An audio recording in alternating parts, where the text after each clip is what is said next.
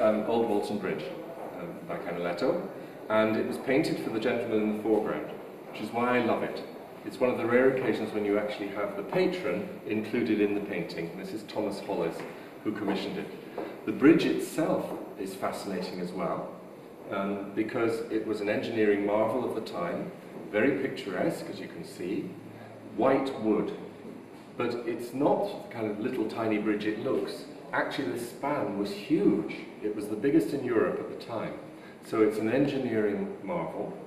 But the thing I really love about this painting is that Canaletto himself is in it.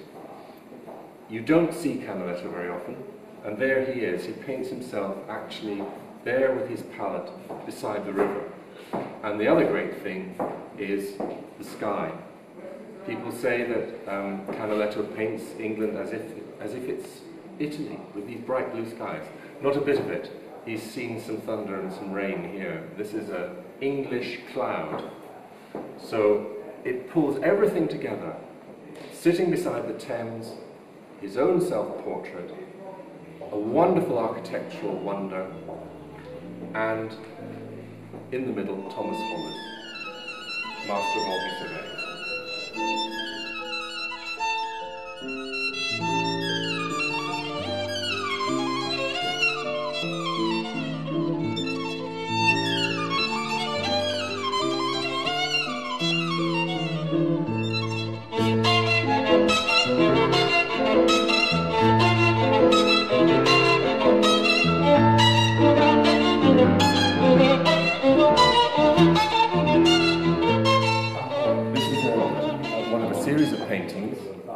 Done for the Duke of Northumberland, and they're still in the Duke of Northumberland's collection to this day. Uh, Sir Hugh Smithson, as he then was, commissioned six works by Canaletto.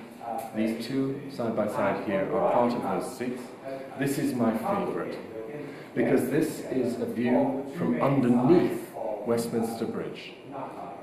Canaletto painted Westminster Bridge more often than any other subject um, in England. And indeed, he may well have been invited to London to do that, because the bridge itself was scheduled to open in 1747. Canaletto came over in 1746. Actually, it didn't happen. The bridge developed some problems with subsidence, and the actual completion wasn't until 1750. But Canaletto here has chosen a really interesting view this is not the bridge structure itself, but the form on which the bridge was based. So the wooden um, engineering form underneath struck Canaletto as the perfect frame for the view of St. Paul's beyond. It looks almost as if it's painted by Piranesi or someone like that. It's a Piranesian view. This great arch. But just to bring it down to earth, he hangs a bucket down from the edge, which just gives you the clue that this is a building in progress, that above this amazing architectural form, there are men slaving away, completing the work, working on the stonework, pouring water over it, and the bucket is being lowered to the Thames to bring up some water. And then beyond it, London, the perfect view of St. Paul's.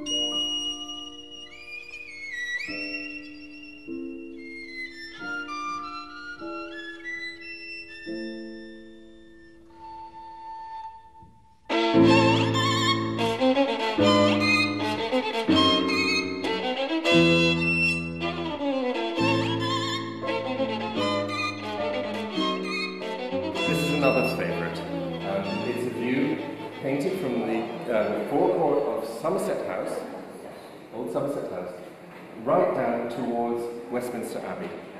And there are some famous buildings here. There's St John's Smith Square, there's uh, the Abbey itself, there's Whitehall, which at that point towered over the other buildings. You wouldn't see that now.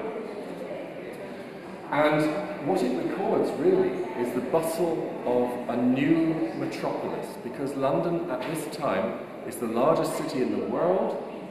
It's um, incredibly on a grander scale than Venice was. The river is vast. And Canaletto is looking at something that is effectively new to him. He painted this around 1750 to 51, and next to it is another view. He turned himself round and painted the other view down to the city and St. Paul's. So these were meant to hang together. This one particularly interests me because of the details here. The courtyard of Somerset House was free for gentlemen and uh, civilized people to use, and so you have um, ladies and gentlemen wandering up and down freely in the courtyard there with the view of the river. And then you have all of this river traffic going on, as if it was Venice, in fact. But we must bear in mind that London, at this point, the Thames was its greatest thoroughfare, and so all of this busyness was going on. The um, barge boys, the, the ferrymen who worked the Thames at this point, were famously rude. They were um, foul-mouthed and horrible, and it was one of the, the horrible things that made uh, people think that we really must have a decent bridge by which to get across the Thames because we couldn't really face getting in another boat with these foul-mouthed boatmen again. And so Westminster was completed in 1750 and opened up a whole new era of transport across the river. But there it is, all caught in aspic.